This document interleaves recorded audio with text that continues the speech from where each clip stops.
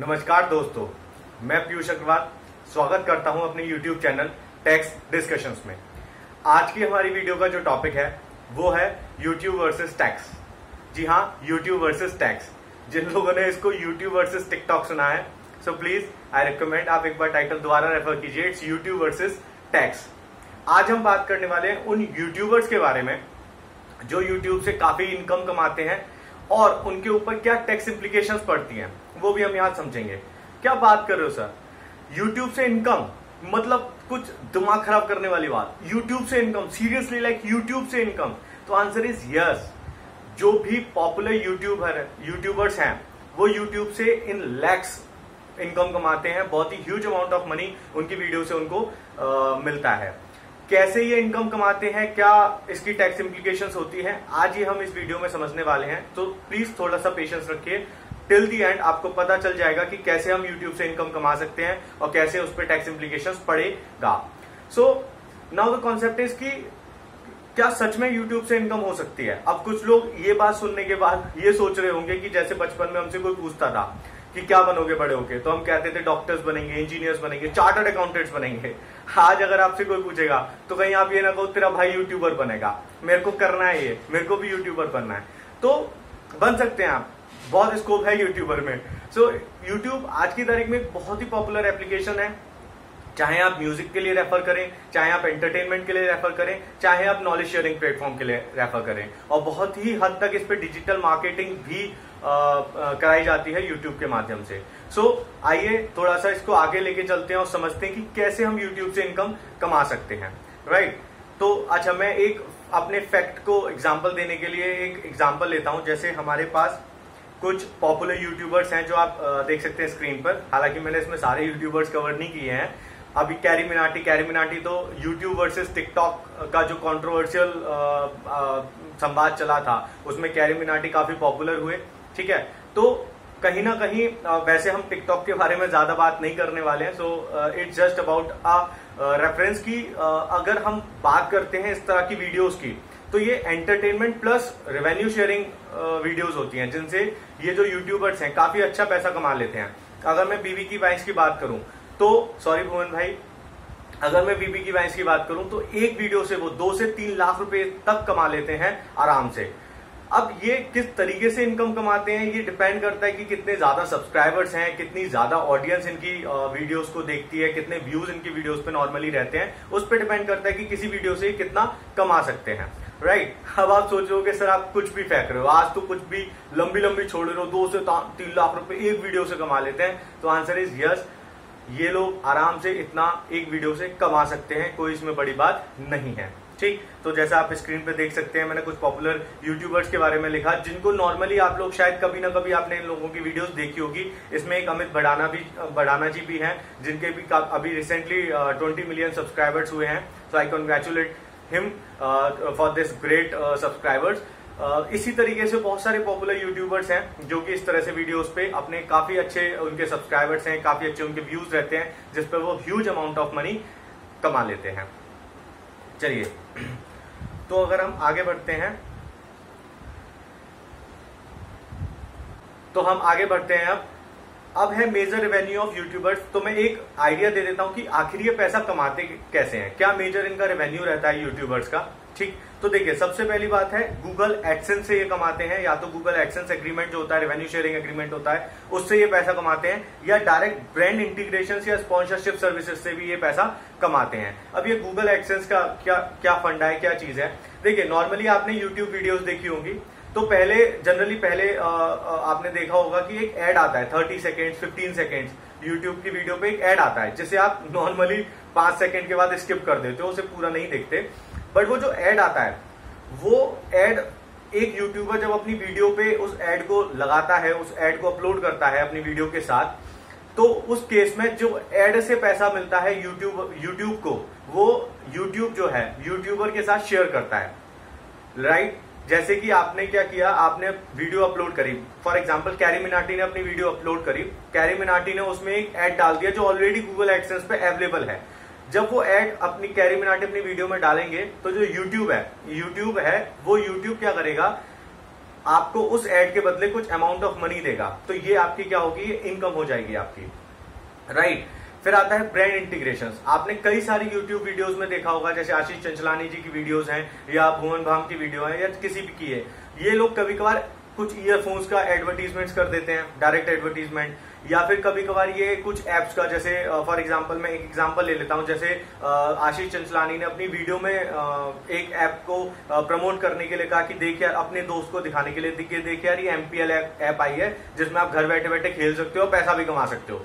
ठीक है? तो कहीं ना कहीं वीडियो में डायरेक्टली उन्होंने इसको क्या कर दिया? एडवर्टाइज कर दिया, अब प्रमोट कर दिया इस प्रोडक्ट को। तो अब जब वो प्रमोट करेंगे इस प्रोडक्ट को तो डेफिनेटली जो एडवर्टाइज जो एडवर्टाइजमेंट करवा रहा है, वो कुछ ना कुछ पैसा ज़रूर देगा आशीष चंचलानी जी को। अब बेसिकली इसमें क्या होता है? कहीं ना कहीं जो इन यूट्यूबर्स की ऑडियंस है, जो भी व्यूअर्स हैं, जो इन यूट्यूबर्स को देखते हैं, उनकी वीडियोस को देखते हैं, ये कहीं ना कहीं एक तरह से उनकी एसेट है। जिसको वो आ, किसी भी आ, जो पर्सन है जिसको एडवर्टाइजमेंट कराना है वो क्या कहेंगे? वो कहेंगे कि आप अगर मेरे को अपना एडवर्टाइजमेंट कराने के लिए कोई भी प्रोडक्ट देते हो तो मैं इतने पर्टिकुलर मिलियन लोगों को जो मेरी वीडियोस को देखते हैं उनको प्रमोट करूँगा आपका प्रोडक्ट तो it's a digital marketing it's kind of digital marketing right तो इससे इनको काफ़ी जो है इनकम होती है. प्लस कई बार इनको डायरेक्ट एंगेजमेंट्स भी मिलते हैं। कई बार यूट्यूबर्स को डायरेक्ट एंगेजमेंट्स मिलते हैं कुछ कंपनी से उससे भी इनको इनकम होती है।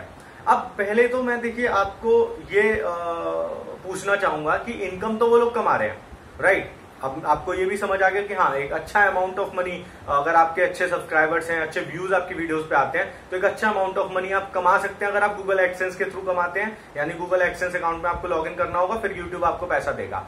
या फिर आप डायरेक्ट एंगेजमेंट्स अगर आपको मिलते हैं, वो तभी मिलेंगे जब आपका पॉपुलर हो जाएगा चैनल आशीष चंचनानी बीवी की वाइंस अमित बडाना इस लेवल पे जब आप पहुँच जाओगे जब आपको डायरेक्ट एंगेजमेंट्स मिलेंगे। स्टार्टिंग में तो कोई डायरेक्ट एंगेजमेंट्स देगा ही नहीं जब तक आपके मिलियंस में सब्सक्राइबर्स नहीं होंगे। राइट चलिए, अब बात करते हैं कि आखिर इस पे क्या इस पे जीएसटी लगता है? क्या आशीष चंचलानी या बीबी की वाइंस या कैरी मिनाटी ये लोग जीएसटी पे करते होंगे? क्या बात कर रहे हो सर जीएसटी मतलब लाइक सीरियसली क्या ये लोग जीएसटी पे करते हैं? नहीं यार, अब ये ये बात तो हजम होने से रही। अब तो आप कुछ भी फेंक रहे हो। मतलब चलो हमने यहाँ तक हजम कर लिया था कि ये लोग इनकम कमा लेते हैं। इनको कुछ पैसा मिल जाता है यूट्यूब से। बट अब सीरियसली ये लोग जीएसटी पे करते होंगे? ये लोग सच में रिटर्न भरते होंगे अपनी यूट्यूब वीडियोस के रिस्पेक्ट में? तो आंसर इज़ हाँ इन पे जीएसटी अप्लीकेबल होता है। इन्हें जीएसटी पे करना होता है। इनकम है तो जीएसटी भी है और इनकम टैक्स भी है। तो जहाँ इनकम है, वहाँ जीएसटी और इनकम टैक्स तो इंडिया के अंदर रहेगा ही। अब बात आती है कि कैसे जीएसटी होगा, क्या रहेगा, इसके लिए हम पहले समझते हैं कि आखिर ये क्या क्या कर क्या रहे हैं, ये किस तरह की सर्विस है, ये सर्विस है गुड्स है, क्या कर रहे हैं ये लोग? ठीक है तो अब मैं आपको एक एग्ज़ाम्पल देता हूँ। फॉर एग्ज़ाम्पल कैरी मिनाटी ने अभी यूट्यूब वर्सेस टिकटॉक की वीडियो डाली। ठीक है, अब जब कैरी मिनाटी अपनी वीडियो डाल रहे हैं तो उन्होंने यूट्यूब पे डाली।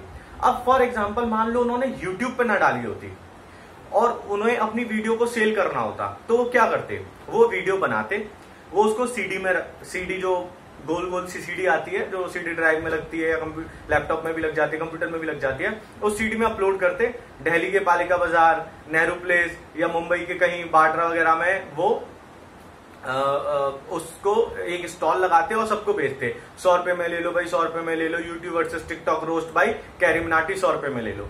और वो इस तरीके से बेचते तो तो क्या जीएसटी नहीं लगता? तो क्या उसको सेल ऑफ़ गुड्स नहीं माना जाता? आंसर इज़ माना जाता। तो अब वो लोग, अब वो क्या कर रहे हैं? वो हर किसी को तो नहीं जा रहे। उन्होंने क्या किया? उन्होंने एक कॉमन प्लेटफॉर्म यूट्यूब पे अपलोड कर दी। और जो व्यूअर्स हैं, जो यूज़र्स हैं, वो उसको वहाँ से व्यू करके अपना एंटरटेनमेंट कर सकते हैं।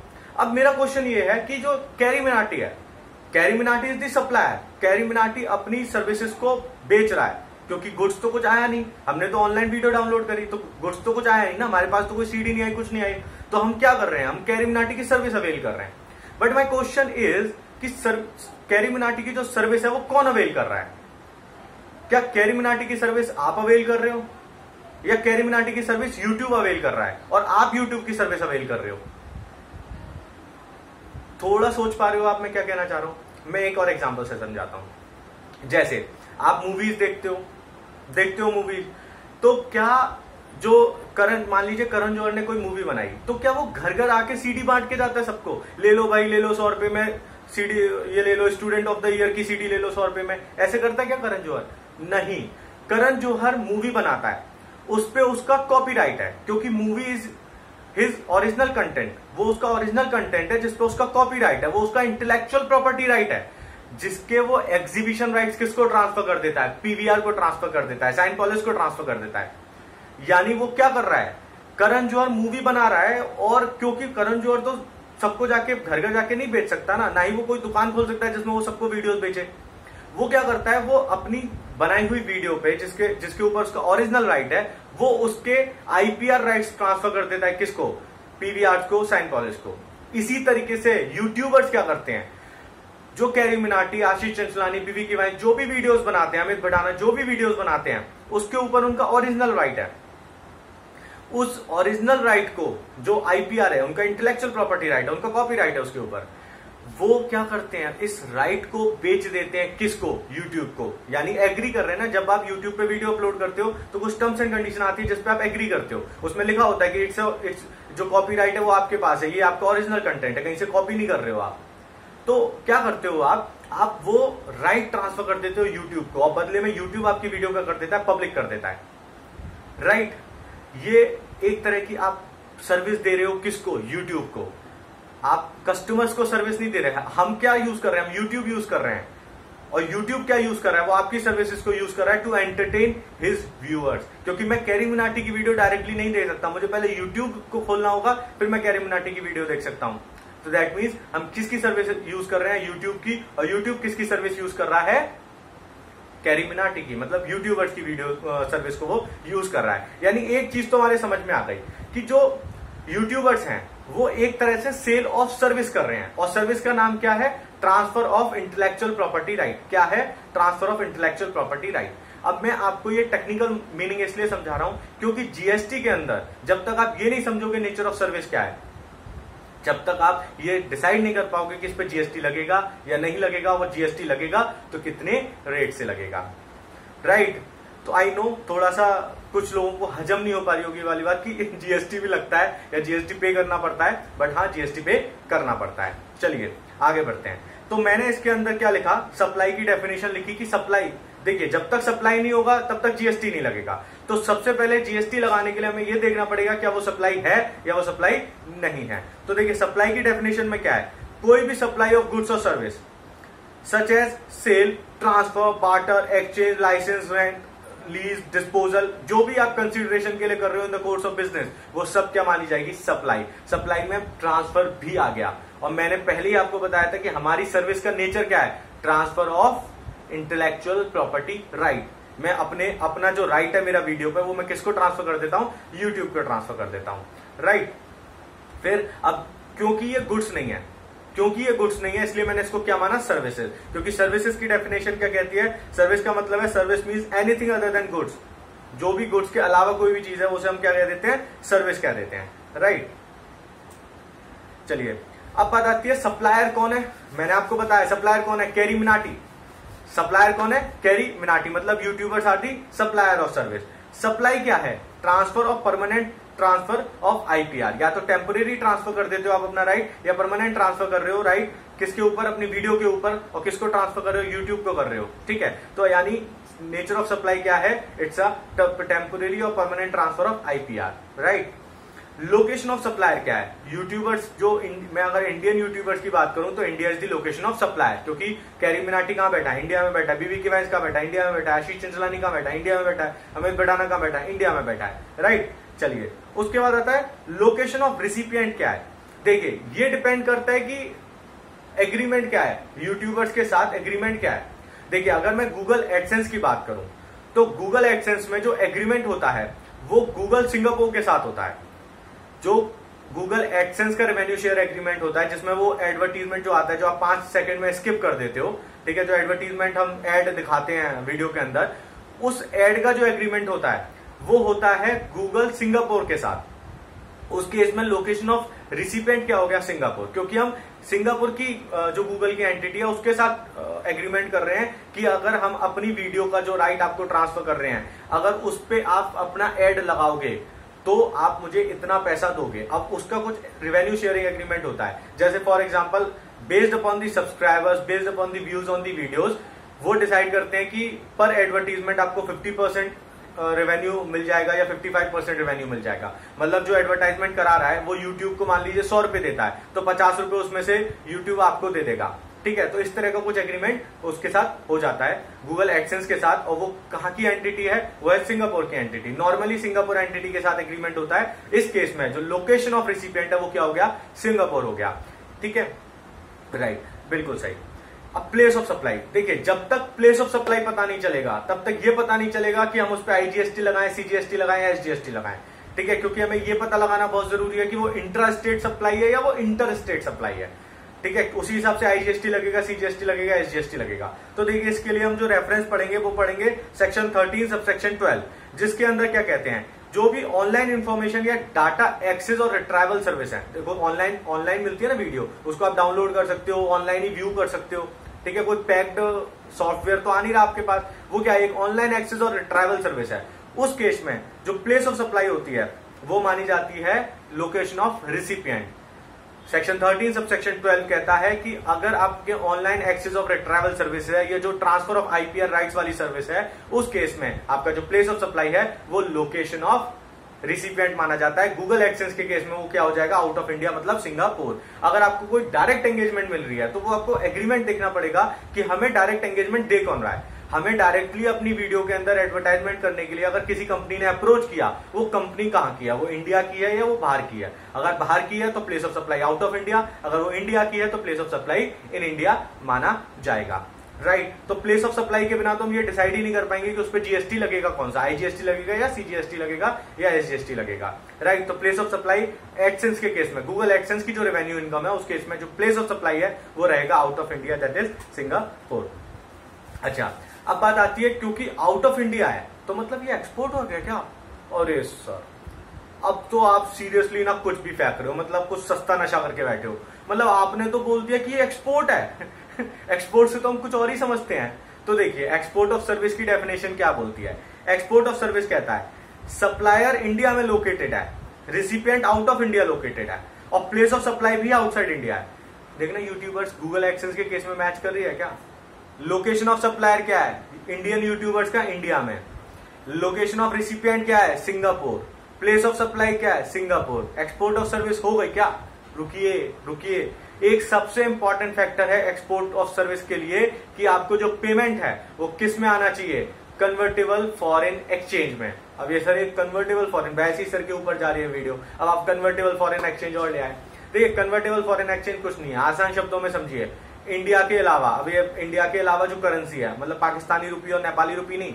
इंडिया के अलावा जो करेंसी जैसे डॉलर यूरोज पॉन्ड्स ये जो करेंसीज है, इनको बोला जाता है कन्वर्टेबल फॉरेन एक्सचेंज तो अगर आपका पैसा जो है वो कन्वर्टेबल फॉरेन एक्सचेंज में आता है तो इसको एक्सपोर्ट ऑफ़ सर्विस माना जाएगा। और मैं आपको बता दूँ गूगल एक्सचेंज के लिए जो पैसा आता है, वो डॉलर्स में आता है। जनरली डॉलर्स में आता है तो यानी आपके एक्सपोर्ट की सारी कंडीशंस कंप्लाई हो रही है। मतलब इंडियन यूट्यूबर्स कैरी मिनाटी जो सर्विसेज़ दे रहा है यूट्यूब को, और अगर वो गूगल एक्सेंस का एड लगाता है, और उस एक्सेंस के बदले जो गूगल एक्सेंस कंपनी है, जो सिंगापुर एंटिटी है गूगल की वो कुछ पैसा देती है कैरी मिनाटी को तो वो एक्सपोर्ट ऑफ़ सर्विस माना जाएगा। एक्सपोर्ट ऑफ़ सर्विस जी हाँ वो एक्सपोर्ट है, इसका मतलब वो ज़ीरो रेटेड है। उस पर हमें कुछ ना कुछ टैक्स बेनिफिट कुछ टैक्स एग्जामेशन ज़रूर मिलेगी, वो भी समझते हैं कैसे। ठीक है? अब देखिए एक्सपोर्ट के केस में हमारे पास दो ऑप्शंस होते हैं। ठीक है? एक्सपोर्ट के केस में हमारे पास दो ऑप्शंस होते हैं। या तो हम with payment of IGST payment करते हैं। विद पेमेंट ऑफ़ आईजीएसटी अगर हम पेमेंट कर देंगे तो आ, हमें क्या होगा? जो हमने जीएसटी पे करा उसका रिफंड मिल जाएगा। ठीक है? और हमारा जो भी आईटीसी वगैरह हमारे जैसे हम जो भी प्रोडक्ट खरीद रहे हैं कैमरा खरीद रहे हैं या कुछ और प्रोडक्ट खरीद रहे हैं उस पर हमें आईटीसी भी मिल जाएगा अपने बिज़नेस के लिए।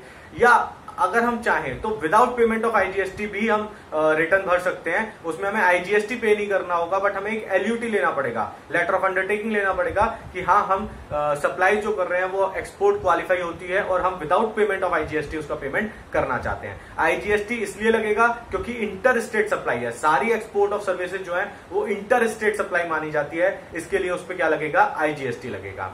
राइट चलिए, अब बात आती है जीएसटी रेट कौन सा जीएसटी रेट लगाऊँ?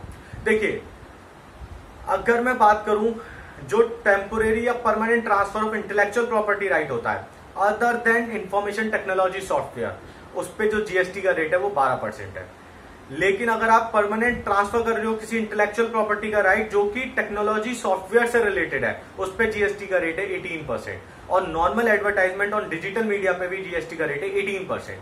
अब देखो, इसमें थोड़ी सी बात समझने वाली है कि आखिर यूट्यूबर्स को कितना जीएसटी का रेट लगेगा। इस पर थोड़ा एक डिफरेंस इन ओपिनियंस है। कुछ प्रोफेशनल्स ये कहते हैं कि इस पे 18 परसेंट का रेट लगेगा क्योंकि इट्स अ डिजिटल मार्केटिंग बिल्कुल ठीक है डिजिटल मार्केटिंग है 18 परसेंट लगना चाहिए।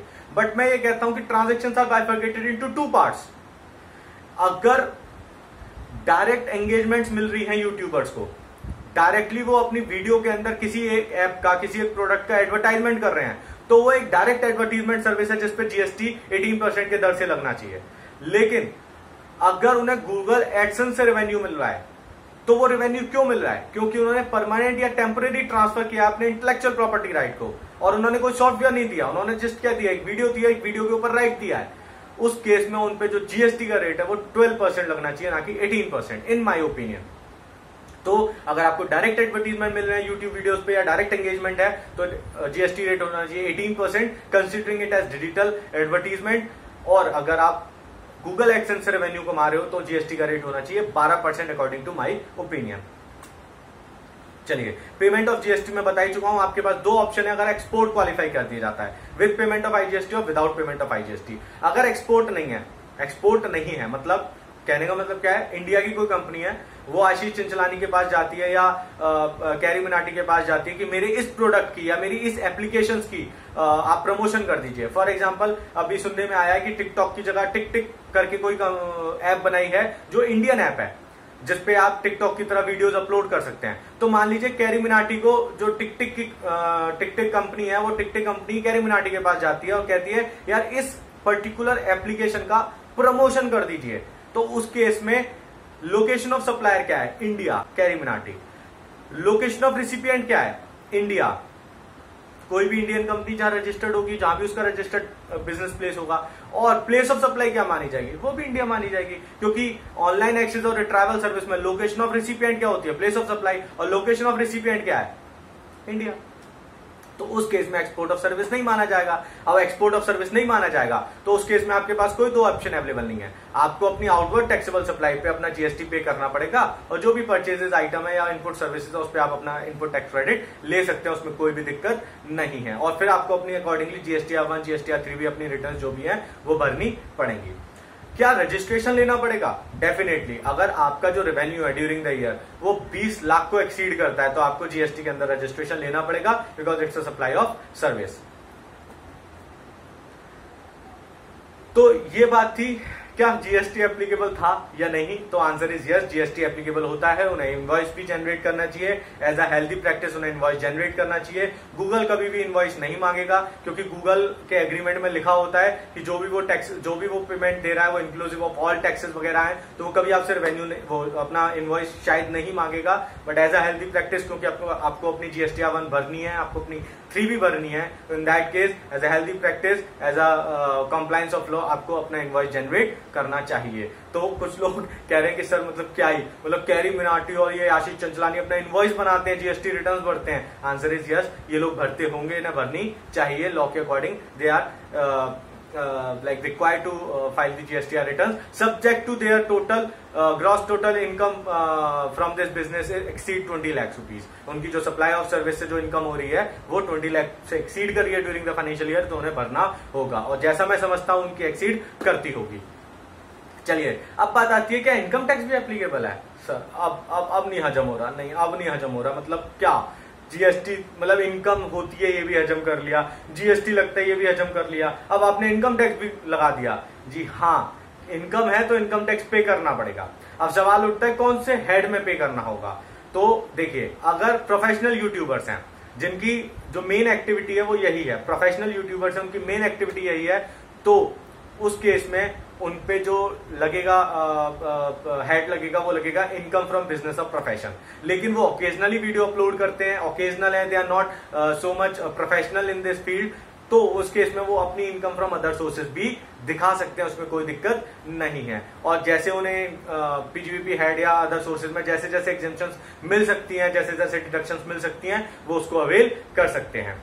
और एक चीज़ और अगर यूट्यूबर्स चाहें, अगर वो अपनी इनकम फ्रॉम बिज़नेस दिखाते हैं तो वो इसको प्रोफेशनल प्रिजम्पटिव टैक्सेशन में भी लेके जा सकते हैं। 44 एडी का बेनिफिट भी ले सकते हैं। 6 परसेंट क्योंकि सारा पैसा इनको ऑनलाइन मिलता है। कैश में तो कुछ मिलता नहीं है। तो 6 परसेंट ऑफ़ द टर्नओवर वो ले सकते हैं, अगर उनकी दो करोड़ सक्सीड नहीं करती तो। 44 एडी का भी वो बेनिफिट ले सकते हैं। इसमें कोई दिक्कत नहीं है, कोई दिक्कत नहीं है।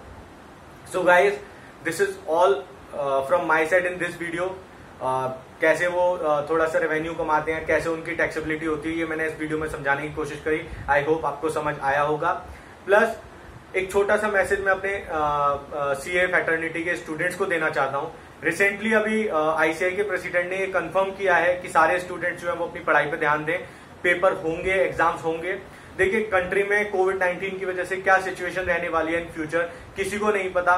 But intention of ICI are very clear if the there is uh, practicable, uh, practicable possibility to conduct the examination examination will definitely be conducted so please guys आप uh, जब से लॉकडाउन एक्सटेंड होता जा रहा है no पढ़ाई में leniency हो जाती है बट आई थिंक कि हमें वेट नहीं करना चाहिए कि इंस्टीट्यूट एग्ज़ाम कैंसिल करे। हमें अपनी स्टडीज़ को बहुत ही इलेवेंथ आवर स्टडी के बेसिस पे करना चाहिए कि हमारे कल ही एग्ज़ाम है और हमें एग्ज़ाम देने हैं। क्योंकि अगर थोड़ी सी भी पॉसिबिलिटी हुई एग्ज़ाम कंडक्ट होने की तो एग्ज़ाम डेफिनेटली कंडक्ट होंगे। So thank you all from my side please like share and subscribe the channel if you like the video thank you